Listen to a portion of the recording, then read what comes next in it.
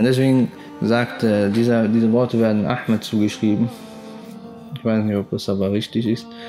Ähm, er sagte, إذا ما خلوت الدهر فلا تقل إني خلوت ولكن قل علي رقيب.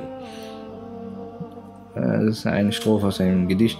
Er sagte, und äh, wenn du mal eines Tages einsam und alleine bist, dann sag nicht, ich bin alleine. فلا تقل خلو إني خلوت Walakin qul alayya raqibu. Aber sag, über mich hütet ein Wächter. Hm? Ja. Und deswegen sagte der Prophet sallallahu auch, das ist der beste Iman, den man haben kann. Das ist der beste Iman, den man haben kann. Er sagte, Afdalul Iman, Afdalul Iman, an ta'lama anna Allah ma'ak, haythuma kunt, au kama qal. Der vortrefflichste Iman ist, dass du weißt, dass Allah Ta'ala mit dir ist, wo auch immer du dich befindest. Das ist der beste Iman. Denn das ist die Ursache des Imans.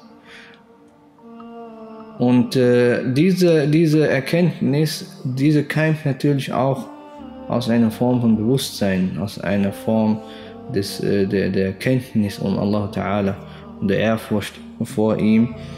Na,